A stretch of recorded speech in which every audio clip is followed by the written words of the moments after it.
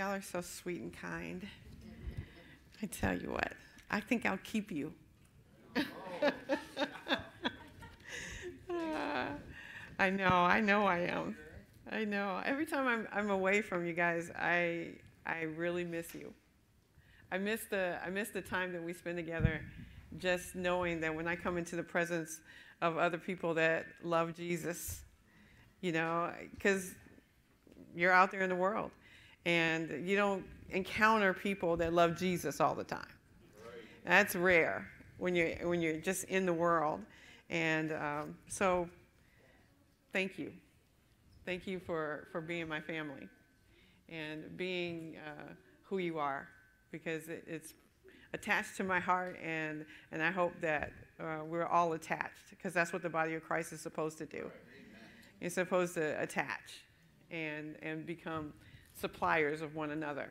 Amen? Well, you ready to learn? Yes. I'm ready to teach.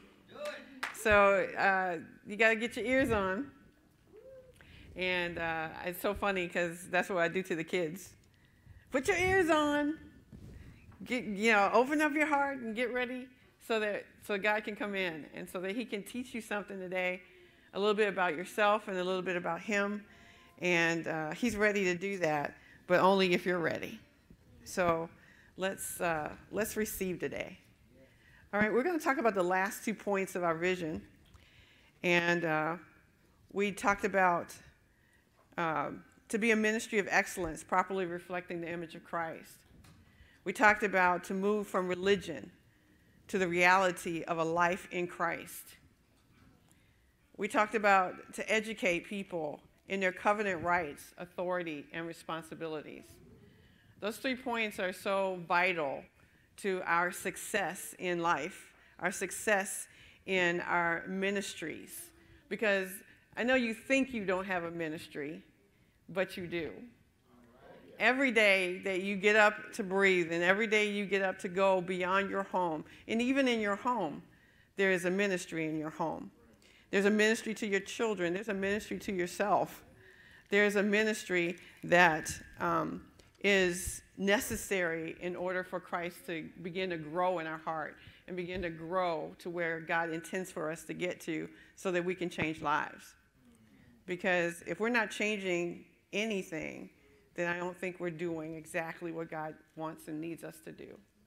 And so sometimes we just need to stop and examine our, ourselves and examine our lives to see who we're touching and who's changing around us.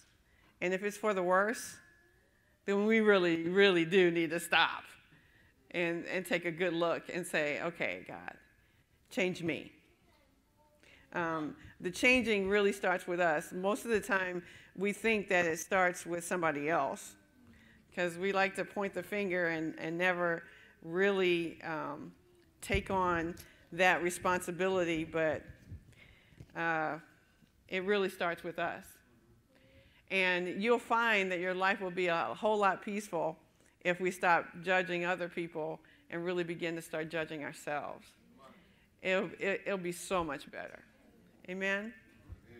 So today we're going to talk about two, the last two points, and it's called uh, to make and train disciples of Jesus Christ, to be rooted and grounded in the Word of God, and to, love, to preach, teach, to love people enough, excuse me, to love people enough to preach, teach, and reach them with the uncompromised Word of God in the metropolitan area of Iowa City, Iowa, and the surrounding areas. We're called to be here. We're not called to be in Idaho. We're not called to be in California. We're not called to be in New York City. We're called to be in Iowa City, Iowa to change lives.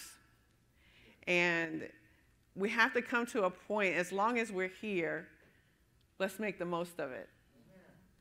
And I think every day that, and Pastor Tommy will uh, uh, agree with this is every day I'm not doing something, I'm wondering why not. And it's true, I probably do need to learn to rest, but I really want to be productive in everything that I put my hands to do. I want to see change in people's lives. I want to see the vision of God come to pass. I want to see the purpose of God on the reason why LifePointe Christian Faith Center is here. Because it's here for a purpose and you're part of it. And that's why the, it's so important that the vision is taught to you so that you can fully understand what you're a part of.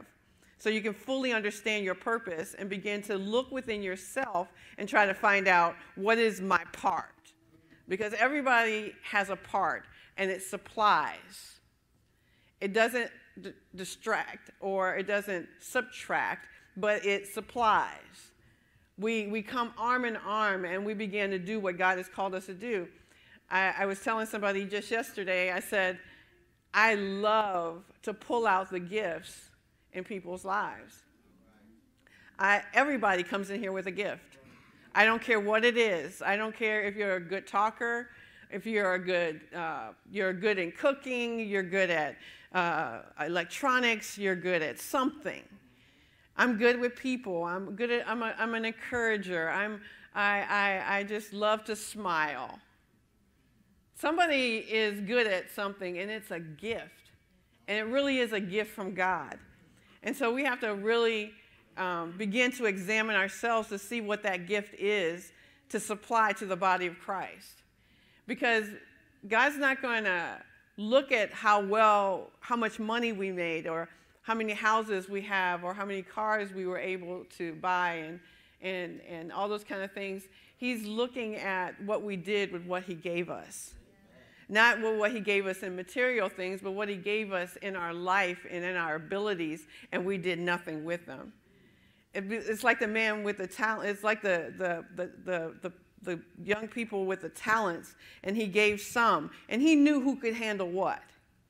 And that's why he only gave that one one, just to see what he would do with it. And he did exactly what he thought he would probably do, and that's bury it and do nothing.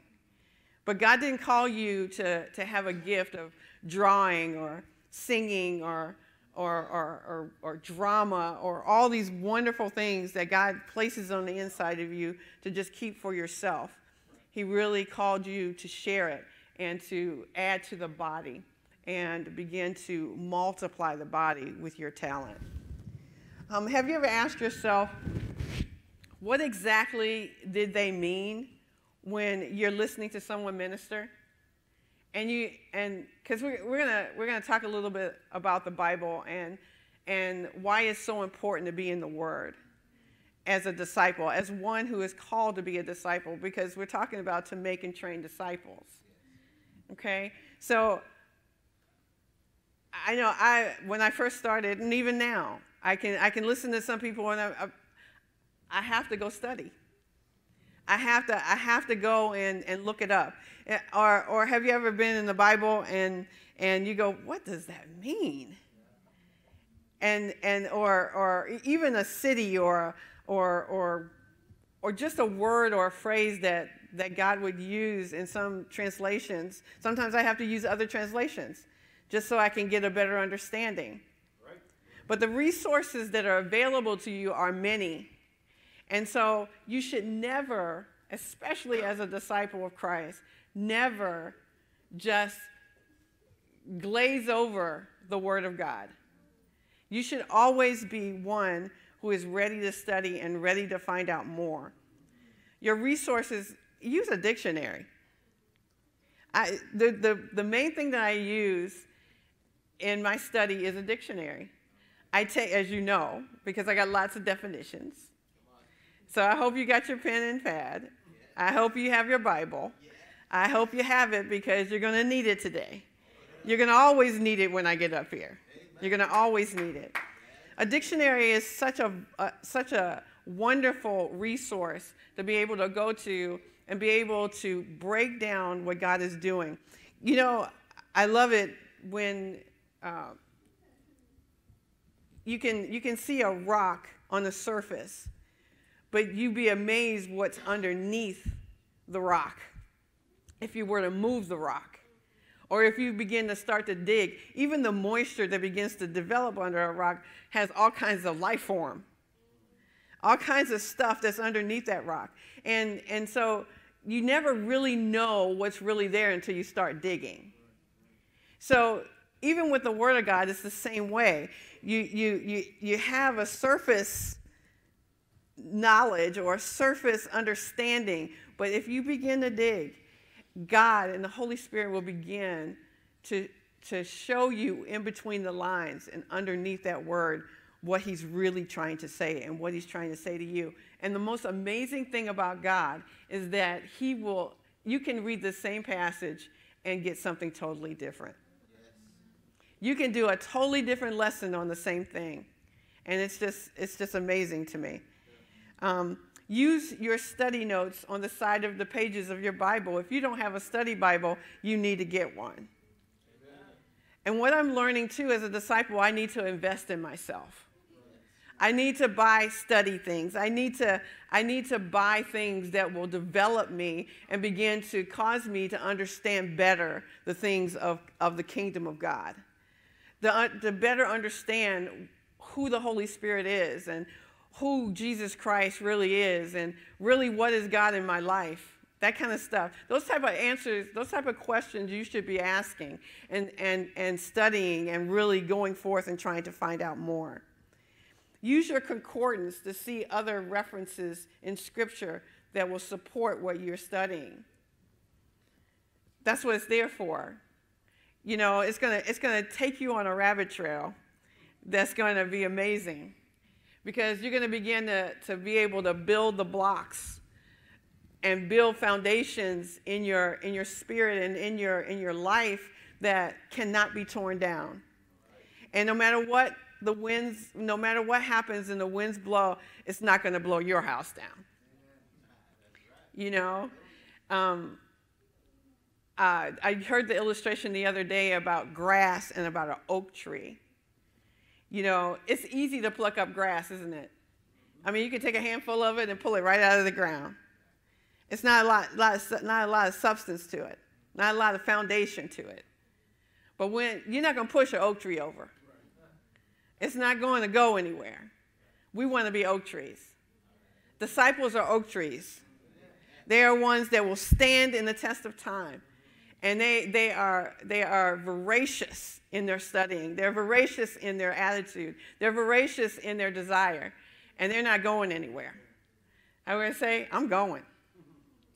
I made the decision, I'm going, and nobody's going to turn me around. The devil is not going to change my mind and, and cause me to doubt God.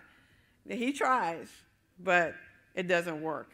With a disciple, it doesn't work. The dictionary has been such a wonderful tool for me to see between the lines of what God is saying. God is always saying more than you see. He's got so much more to tell you. The Holy Spirit is an excellent teacher and a guide. As you study, listen.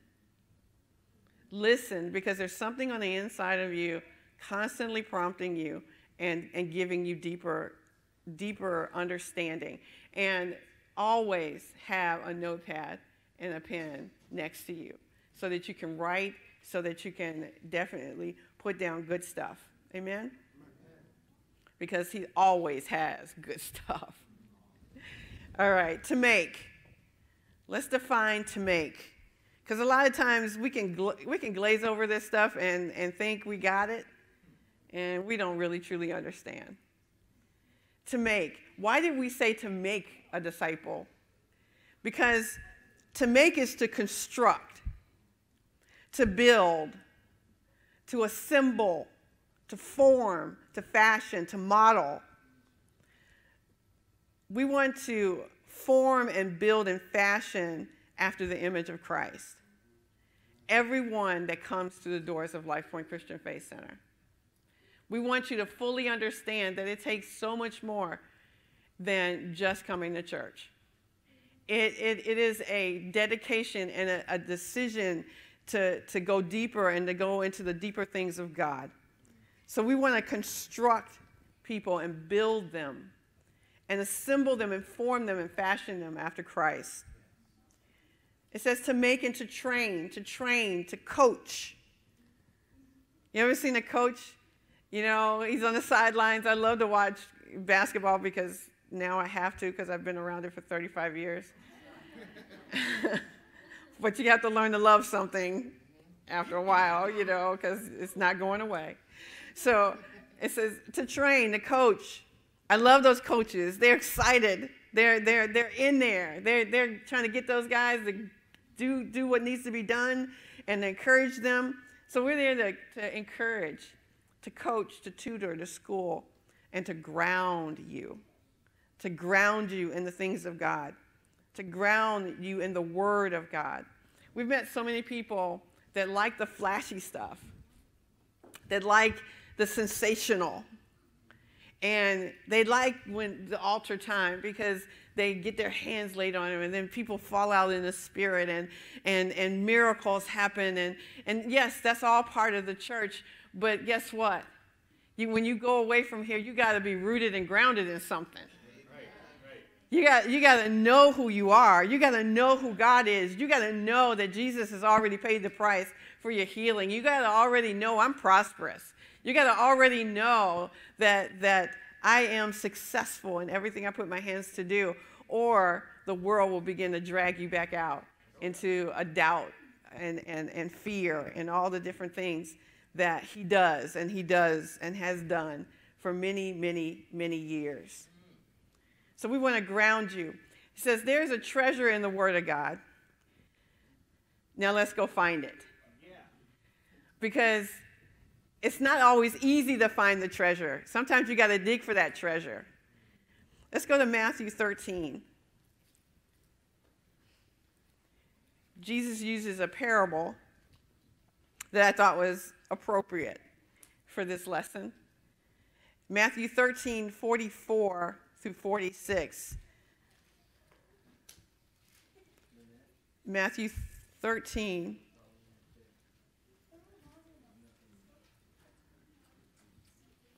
It's not up there, huh? Is the is the is okay? She's working on it. All right. Matthew 13, 44 and 46 through 46. It says again, the kingdom of heaven is like treasure hidden in a field which a man found and hid. And for joy over it, he goes and sells all that he has and buys that field. 45 says, Again, the kingdom of heaven is like a merchant seeking beautiful pearls, who, when he had found one pearl of great price, went and sold all that he had and bought it. That's what a disciple does. He's willing to sell all that he has and all that he is so that he could find the treasure that is in God. It is the most important thing in his life is to find that treasure, and the treasure is Jesus Christ. And when we fully understand who Jesus Christ is in our life, everything changes. Everything about our lives change. And so a disciple is one who will give up all. What did the disciples do when they met Jesus? They put their nets down, they left their families, they left everything to go with Jesus. Because they knew there was something about that man that they knew he was the Christ. He was the Savior of the world, and they were going to go and be with him. And that's how we must be. There are three levels of your growth in Christ. Let's look at them. There are three levels to your growth in Christ. The first level is a Christian. Is a Christian. That's one who ex- who has accepted Jesus Christ as their Savior, but has done nothing more with it, what they received. They go to church, they come to meet their friends, they socialize, they have a good time. You know, we tell each other our problems, and we go home, and we'll do it again Sunday. That's the first level. How many of you have met some of them? I've met some of them. Yeah. The next level is a believer. Something happens to that Christian. Something spectacular, something, a miracle happened. Whether it was a healing, whether it was some type of supply, uh, was supplied by God, and oh my goodness, there's another level to this thing. That God is faithful and He's true. And nobody's turning me around. I believe God. And, you know, but it becomes, what happens is it becomes more about them than it does about them. It becomes more about you and less about people. Because I want to experience that, that rush again. I want to experience that, that, that touch of God. I'm running to the altar because I want to feel God.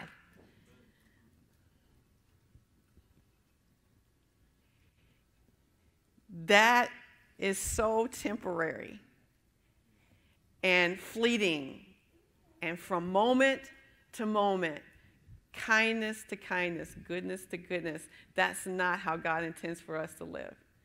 He wants you to live in the blessing all of the time. And the thing that causes us to move into the blessing is the next level, and that's discipleship. A disciple is a chosen one to do the work of God. Sometimes in the fivefold ministry, and definitely in the gifts of the Spirit and going about with the power of God. But see, the gifts are not just the nine gifts of the Spirit, it's, it's administration. There's a gift in administration, there's gifts and helps, there's gifts in government people have amazing gifts that they have yet to tap into and really understand really what they can do. It is more than just the nine. It is so much more. It's, uh, it's more than the fivefold ministry. You know, uh, uh, evangelists, teachers, prophets, you know, that kind of stuff that pastors and teachers and things like that it is, it is so much more. The body is made up of so many members and so much that needs to be supplied. Everyone is significant and no one is insignificant. Not to God. Now, to people, that may be the case, but not to God. And what you have to begin to realize, and me too, all the time, I have to realize that I am significant. And I do have something to contribute. And I do have something to give to the body. And a lot of times we don't realize that we do. So we sit in the corner and try to hide. And I want to get in, I want to get out, and I want to not bother anybody and nobody bother me. But God didn't call us to do that. He called us to be a part of the body as a whole. I believe God has handpicked some to do the work of God because He knows the heart of man. He knows. He knows. He knows. He knows the disciples. He knows. He says, Many are called, but few are chosen. But He knows the chosen ones because you know what? Mm, the ones that, that really go beyond, you gotta, I bet if you stopped and you really thought about it, you could always remember the touch of God. There was something that drew you to Him even in your worst of times. There was something that was missing in your life that you were drawn to, that you were, you were, you, you, you were just, it, it was like a magnet that just drew you to Him. And there was something in you that, that loved beyond anything else. And it, it, you know who you are. you know who you are. And I believe the people that come to LifePointe are called for such a time like that. That they are the disciples of today. They are the disciples of today. A disciple is a follower. Not a follower of things that are evil, but a thing, things that are good. But a disciple can be one who follows evil. It, it just depends on what you want to be a disciple of. But disciple of Christ is one who follows after Christ hard. It is, he is an, or she is an adherent, a believer, an admirer, a devotee, a pupil, a student, a learner, an upholder, a supporter, an advocate, a proponent.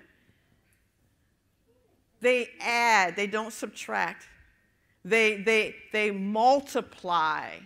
They, they, they, they complement.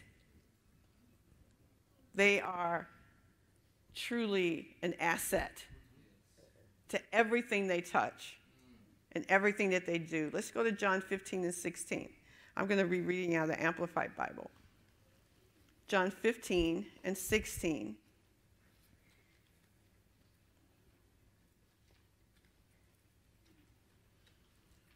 It says, You have not chosen me, but I have chosen you. And I have appointed and placed and purposefully planted you so that you would go and bear fruit and keep on bearing, and that your fruit will remain and be lasting, so that whatever you ask of the Father in my name as my represent, representative, he may give to you. You are a representative of Christ in the earth. You are the hands and the voice of God and Christ as you walk and talk and as you, you touch people's lives, you are God's represent, representative. Let's go to Luke 14, verse 25 through 27. I like the easy to read version. It was um, because I'm gonna I'm gonna read it in the New King James version after that.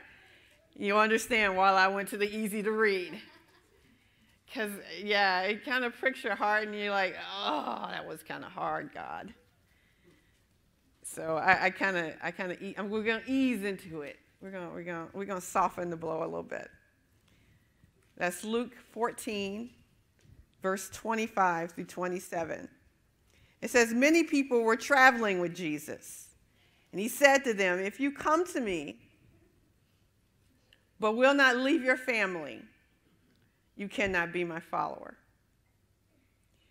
You must love me more than your father, mother, wife, children, brothers, and sisters, even more than your own life.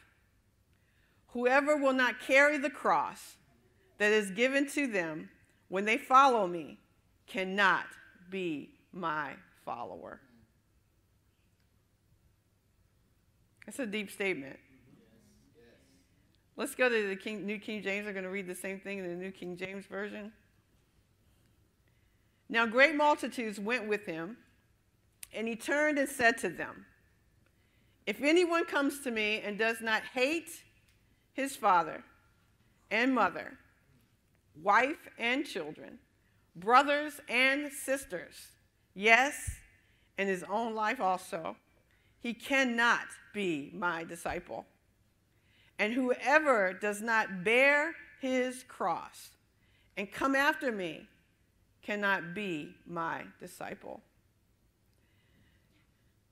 You know, what I realized as I, I, I desire to be a disciple, that when I give up everything, I get everything.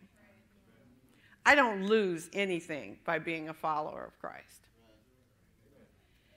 if if if I make the choice to preach this gospel, and there are times when I kind of give up a picnic, or I got to give up a, a, vacation or, or a ride somewhere or a day at the pool or, or whatever it is or a family reunion or whatever because I know that God has called me to do something else, He's not going to let me lose.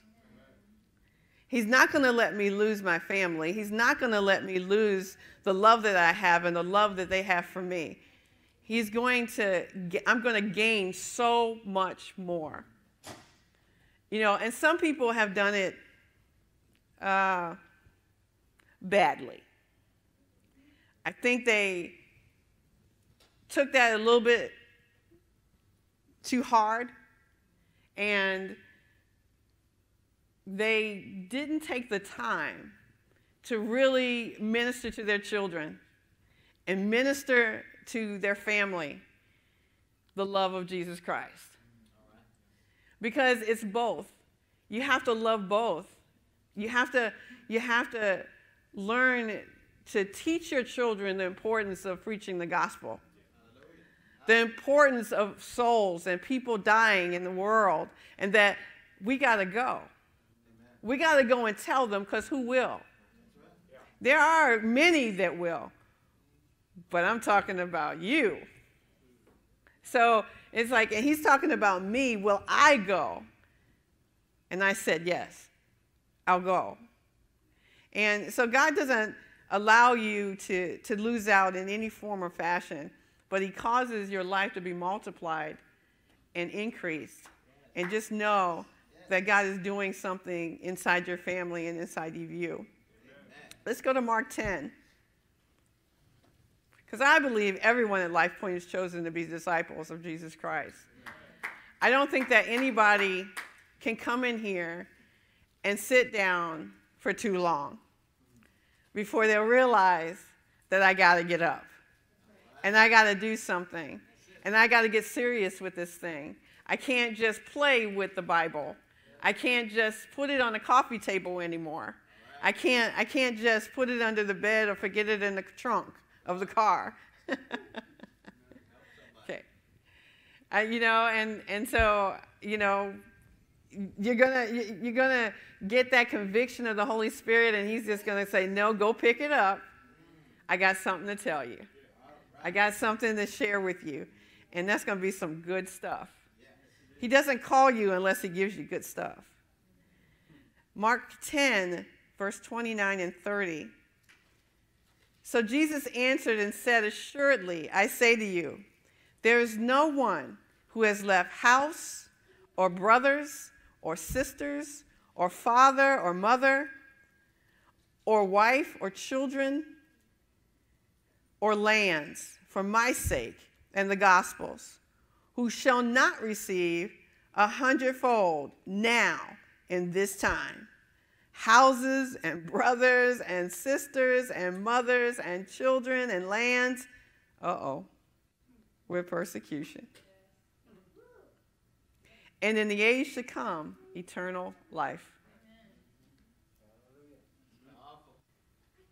I know everybody in here knows you got an enemy. And you're not gonna you're not gonna go, go tiptoeing through the tulips. You're just not gonna do that. He's not gonna let you. He's gonna trip you up. He's going to come up behind you and push you. He's going to do all kinds of stuff. But guess what? We're the big oak trees. We're the big oak trees. You may push me, but I'm pushing back. And I know what to do. I know how to get out my sword, and I know how to get out the Word of God, and I know how to tell the enemy exactly who he is, and also remind him of who I am. And no matter what comes and what goes out of my life, I know who I am. And you got to know who you are. That no matter what you think you're giving up, God is multiplying it and He's making it better. It says, How do I become a disciple? There's three major elements of becoming a disciple. Three major elements of becoming a disciple. Number one, an insatiable hunger for God. An insatiable hunger for God where you cannot, it is just not, it's not even possible for, for your Bible to sit there for a week. It's just not possible. You can't get enough of God's presence, His word, and His love. Your worship goes to another level. Your prayer time goes to another level. Your love walk goes to another level. Your word level goes to another level. Because you cannot get enough. That's a disciple. That's a disciple. Those guys literally ministered to one another every day. They lived with each other. They were around each other every day. They went and ministered. They went out in the street every day. Hmm. That's insatiable. That's insatiable. All right. Matthew 14 and 27. Got a lot of scripture. Hope you're writing them down. Because it, it passes through the ear, and oh my goodness, it, it, it takes some time to get into the heart. Matthew 14 27. It says, Whoever does not bear his cross and come after me cannot be my disciple. Whoever does not bear his cross and come after me cannot be my disciple. You got to be in hot pursuit of Jesus. He says, I would rather you be hot or cold and never be lukewarm because I'll just spew you out of my mouth. And I don't think God gets any, any pleasure out of people who take church and time with God so casual. It is so vital to the people of God, or I'm sorry, to the people of the world, as well as to the people of God, our temperature level and where we are. Number two, a commitment to daily time and study and meditation of the Word of God. A commitment. That I set a time, a time that I am going to study, that I am going to spend time with God, that I am going to be in His presence so that I can hear from the commander on high.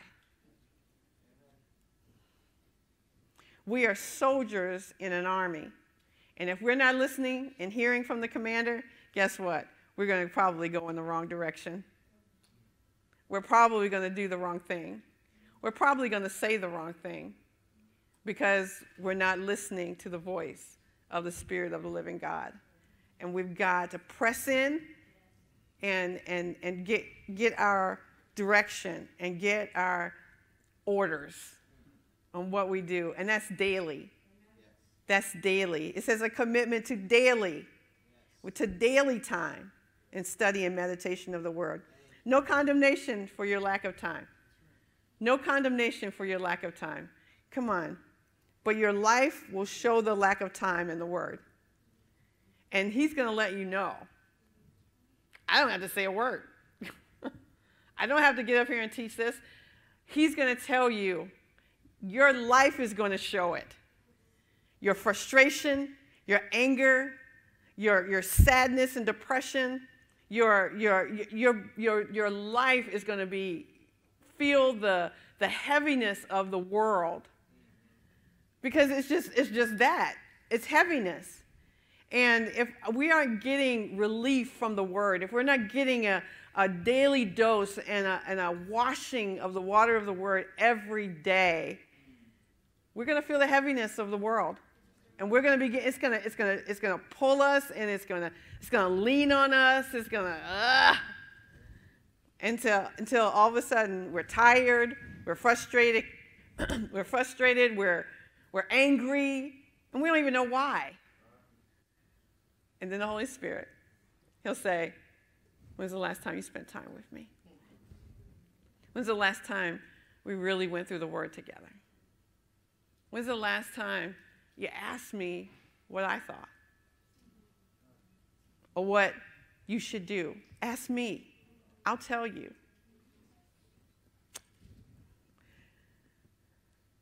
This is a must to grow and become equipped in the word and in deed. Um, we'll be, we'll, won't want to do anything for the church, really, because of the heaviness of the world. We won't really want to do anything for God because the enemy will so mask our talents and, and tell us that that's really, you're really not good at that. You know, and it's not the truth. Let's go to 2 Timothy 2.15. I'm going to read from the Amplified Version. 2 Timothy 2:15.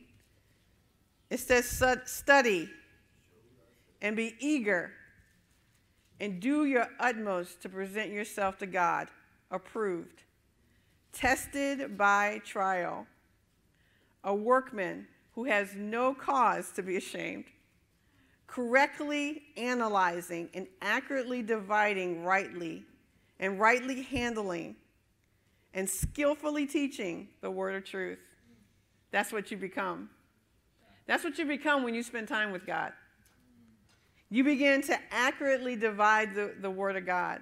You're not ashamed. You're not ashamed because you know what you know. You don't have to know everything. You got a testimony. I've told you that before. The greatest, the greatest thing that you could tell people out in the world is your testimony and what God has done for you. You don't have to know where everything is in the Bible to tell somebody about the goodness of God and what He's done. But correctly analyzing and accurately, you begin to grow in these things. You begin to know where the scripture is. You begin to, to, to know the word of God. It just flows out of your belly. That word of living uh, water, that, that life giving source begins to flow out of you. Let's go to Colossians 1.23. Colossians 1.23. This is in the King James Version. It says, If you continue in the faith, grounded and settled, and be not moved away from the hope of the gospel, which ye have heard, and which was preached to every creature which is under heaven, whereof I, Paul, am made a minister. You are made a minister of Christ. Don't try to shy away from it. Just accept it. Just embrace it. Enjoy it. And spend time with God. He'll tell you everything. He'll give you everything you need. He'll give you every, every instruction. He'll even give you the words out of your mouth. I said, Lord, I don't know what to say today. He's talking. I'm not saying anything. I'm just, I'm just listening and opening up my mouth and allowing him to do the work and do, do, do the saying because I don't know what to say to you. But he knows, and he knows exactly what you need. And when you meet somebody in the street, he'll know exactly what to say. You don't have to be rehearsed. You don't have to have your little notes in your pocket and say, okay, well, Jesus said. God's going to give you exactly what to say. Number three. Number three, in becoming a disciple, a no fear, I'm here, walking in the power of God attitude. I'm not going nowhere. And no matter what, how the devil pushes, no matter how he he, he tries to shove me and get me out of the way and tries to, you know, bring sickness on my body or, or whatever he tries to do. I'm not going anywhere. I have no fear of man or what they say to me. I used to. I used to, I used to care a lot about what people said about me, but I don't care. Because I know my heart and I know my desire, and my desire is for men's souls. I got the will and the, and the desire of God. I don't have the will and desire of Lynette anymore because I made a decision to be a disciple. And I made a decision that I'm going to follow Christ and I'm going to follow after him hard. I'm not going to, I'm not going to lightly tip, tiptoe around and just, you know, see what I can see. I'm no, I'm going I'm going after him hard. I'm pulling at the hem of his garment. I'm like, oh God, no, no, no. I, I want you to talk to me today a no fear. I am here walking in the power. You have the power of Christ on the inside of you. He says he wants us to go into all the earth and preach this gospel. He said, laying hands on the sick so that they would recover, rebuking and, and casting out devils, raising the dead. That's what we're called to do. That's what we're supposed to be doing as disciples of Jesus Christ. That takes being fed in the presence and in the word each day. Faith cancels out fear, but fear cancels out faith. Don't let fear get into your heart. Don't let fear get into your, into your mind. Don't let fear get into, into your, your life so that it will begin to cancel out your faith in God. Keep your faith alive with the feeding of the Word of God and sitting squarely at His feet, learning of Him. That has to be deliberate. That can't be, that can't be something that, that, that you fall into. You have to be deliberate about your decision and deliberate about your time with God. Matthew 11 and 29. Matthew 11 and 29. He says, Take my yoke upon you and learn from me, for I'm gentle and I'm lowly in heart, and you will find rest for your souls. I know that sounds gentle and it doesn't sound big and bad and tough, but it is far from that. At times, when need be, it's going to be a battle. It's going to be a daily battle. But you know what? He's equipping you for the fight. He's equipping you for the battle, and, and, and, and the more you feed into him, the more equipped you'll become. So don't not spend the time that you need in order to equip yourself. 1 Corinthians 15 57 and 58. You can tell I studied a lot. 1 Corinthians 15 57 and 58. But thanks be to God who gives us the victory through our Lord Jesus Christ. Therefore, my beloved brethren, be steadfast immovable, always abounding in the work of the Lord, knowing that your labor is not in vain in the Lord. Nothing you do is in vain for the Lord. 1 Timothy 5, uh, 6 and 12. 1 Timothy 6 and 12. It says, Fight the good fight of faith lay hold on eternal life, to which you were also called, and have confessed the good confession in the presence of many witnesses. A disciple is not ashamed of the gospel. He tells it on the rooftop, and he screams it from the mountains that our God reigns. And let everyone know, he, they let everyone know that you too can reign with him. That you don't have to be alone in your struggle. You don't have to be alone trying to make things work. That God is right there with you. If we're gonna, if we're gonna be disciples of Jesus Christ, Jesus Christ has got to be the gentlest man that ever lived, but yet he was strong. I loved how he threw out those money changers. I love how he went in there so nicely and he just, he gave them what for? He did, didn't he? he was highly intelligent, but could speak to all men. He spoke to sinners and common men because he knew who he was. He was loving, but yet a taskmaster. He had three years to teach his disciples how to be a disciple. That's not a long time, but he did it. And even, even the one denied him three times. And others, you know, ran away. But when the Holy Spirit came and baptized them on that day, they were changed men. And they began to preach that gospel with such fire that's why the baptism of the Holy Spirit is an important, important event in your life. If you have not yet been baptized in the Holy Spirit, you need to get baptized. Because it is a change of life that will bring power to your life like you've never had before. He was compassionate, but wise to follow the voice of God. The man at the pool of Bethesda, he didn't, he didn't, he didn't go to everybody. Everybody came to him. But he didn't go to everybody. He listened for the voice of God before he stepped, before he went, because he knew there was a purpose in what God was saying. And he wasn't doing anything without a purpose and the way God said go. He was called to be about the Father's business from the very beginning, and so are we.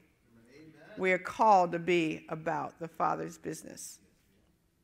Acts 10:38 says, "And as you know, that God anointed Jesus of Nazareth with the Holy Spirit and with power.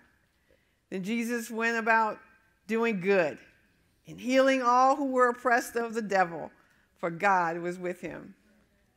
And his disciples as his disciples, he was, he's with us also as we go. He went about doing good and healing. That's what we're supposed to do as disciples of God. To go about doing good and healing. And if we're not, then we have to check our life and begin to say, God, how do you want me to go? Where do you want me to go? Who do you want me to go with? But I want to go. I'm going. it's become one of my favorite sayings now.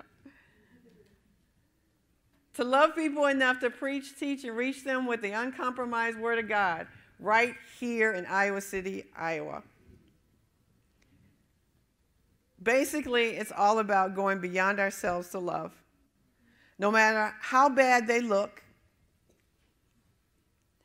or act or smell or are, we love them. It doesn't matter.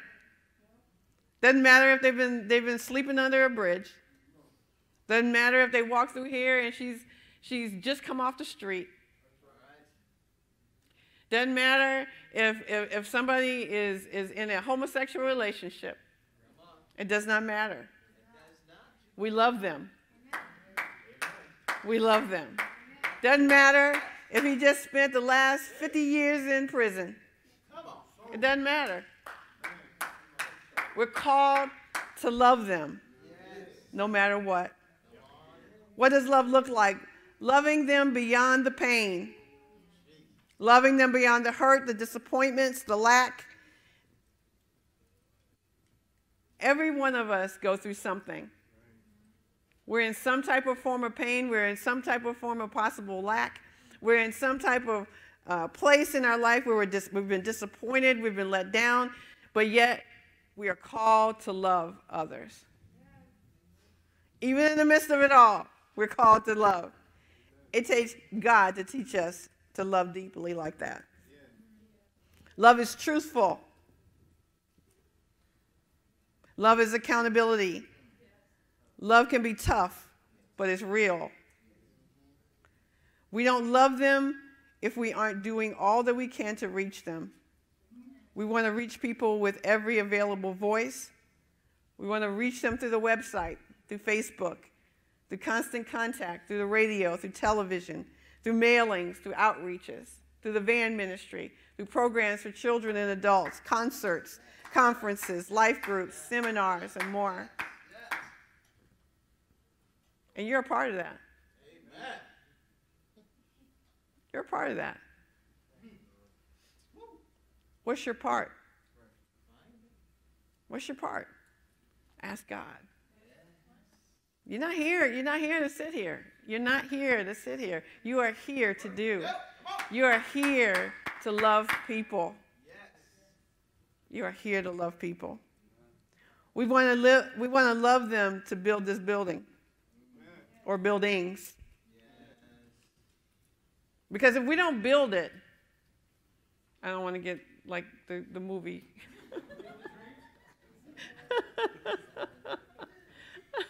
but it's true. if we don't build it, they're not going to come. All right. How can we help them? We are so limited here at the hotel and what we're able to accomplish for people. People are still calling, still thinking we still have a building, and yet we have no place to bring them. We have no, we have no place to, uh, to counsel them, to, to, to get them up on their feet. How, how many of you know that with strangers out there in the world, you can't just bring people to your house? That's not a safe thing to do. It's just not safe. Okay, to, to just bring people to your house. So you, you, you gotta, you gotta know how important this building is. Um, we want them to have a place of worship and of learning and growing and healing and restoration and growing in the knowledge of God.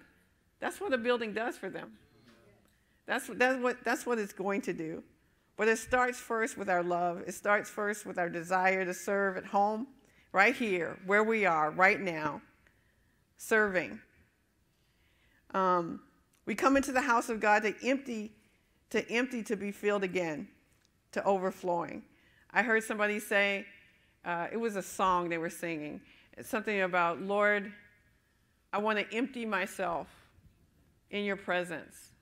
Yes, we want to empty ourselves of all the junk and all the gook and all the hardness, but we want to fill ourselves in this house. We want to be so full when we leave here, we're overflowing, and that we give it out all week long, and we come in empty again, ready to be filled by God again. Amen. Amen. Amen. All right. Remember, a disciple has an insatiable hunger for God. It takes daily time in the Word and study of the Word. This is your homework. Couldn't skip the homework. I skipped a few things. I know I did a lot of studying. Homework take a scripture this week and memorize and meditate on it. But then I want you to use it throughout the day or on someone else. I want you to use it. Okay? I want you to use it on somebody. Okay, example. You know, uh, 1 Corinthians 13 and 1. 1 Corinthians 13 and 1. 1 Corinthians 13 and 1. Uh, you know, meditating, okay? Though I speak with the tongues of men and of angels, but have not love, I have become a sounding brass, brass or a cl- clanging cymbal. When you're just talking to somebody, because that's your meditation scripture, you can say, you know, I'm learning about love. and I'm learning that, you know, if I don't have it, I'm just making noise. I just sound, I, I, you know, I'm just clanging and, you know, I'm like a, a noisy cymbal if I have not love. So I'm learning to love. You know, that's in 1 Corinthians 13 and 1. and just take some time to use that scripture and watch and see that you'll never forget it. And that'll be a part of your arsenal later on that you can pull out and be able to use it on the enemy. Are you ready for that? No fear, I'm here. Walking in the power of God attitude. That's a disciple. No fear, I'm not going anywhere. I'm here and I'm walking in the power. Amen? Amen. That's you. There is a greater you on the inside of you. You've been telling yourself that? You know that was your homework. You're supposed to be looking in the mirror and saying, There is a greater you on the inside of you, and begin to walk it out. Amen? I'm telling you, there's a greater you on, on the inside of you. Pull him out and use him. The world is waiting on you. The world is waiting on you. And I know you're like, on me? Yep. Yep. Somebody is waiting on the other side of your obedience. And they need you. They need you to speak a word in season to them, to encourage them, to love them, and to take them to the next step in their life. Whether they're Christians, whether they're non believers completely, whether they're Christians or just believers, we can take them to a place of discipleship where they are really have this insatiable desire for God. Amen? Amen. Amen. We're done. Did you get something? Yes. I hope so. I, am going to take a I'm going to take a, a, poll next time to see how many people had uh, the most pages of notes. Look, I got two hands right there. I'm going to take a poll to see how many people took that many notes because you ain't that smart, guys. I'm telling you, you're not that smart. When you can't take notes and you can remember all this stuff and be able to apply it throughout the, your, uh, your, your week and all that kind of stuff, you're just not that great. You're not that great. You know, so you know you have to you have to you have to be able to take notes. Uh, it is it is said that those that take notes learn more. Amen. Amen. Amen. Well, you want me to dismiss Pastor Tommy? You, you go ahead and stand on your feet, guys. Well, it has been a joy. Um, I am going to hand this uh, wonderful mic back to Pastor Tommy next week. I'm going back to prayer. Hallelujah. uh, where, where I love and, uh, and allow Him to preach the Word of God to you. And, uh, but keep praying. Keep praying about the building. Keep praying about uh, the finances and the things that, and like I said last week, if you uh, have been a part of a building plan before, or if you've heard of different things or whatever, um, please let uh, myself or Pastor Tommy or Mandy Mobley uh, know uh, what, what those ideas are. Um, because this is our first time doing a building fund.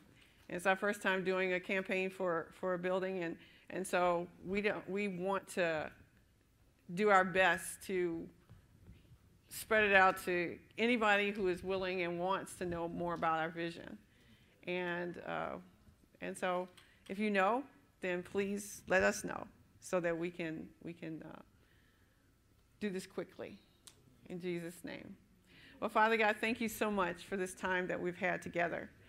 I thank you, God, that you, you bring us together as a body to make us equipped and stronger. You cause us to be uh, prepared for tomorrow and even today. Uh, it might be somebody that comes across our path today that needs to know about being a disciple, uh, or even needs to know more about loving other people and reaching people with the love of Jesus Christ, with the uncompromised word. They might need to know that, and what we've learned today we can share. And so, God, thank you for giving us opportunities to share the word of God that we've learned today, and that we, that it won't go in just our hearts to, to, to go into some uh, library back on a shelf, but is actually going to be used. And God, thank you. Thank you for our worship this week and, and all the times and that we're going to spend time with you. That we're going to sit at your feet this week and we're going to spend some time with you so that you could tell us things and begin to show us our life and show us where we're going and show us how to get there. And we thank you, God, for it, the time that you're going to spend with us and that you're longing for it right now. And we thank you for it. Keep us safe as we are away from, away from each other during this week. That God, the angels of the Lord are encamped around about them, taking them from place to place, from, from wherever they're going to and back home again. And so, God, thank you. In Jesus' name, amen.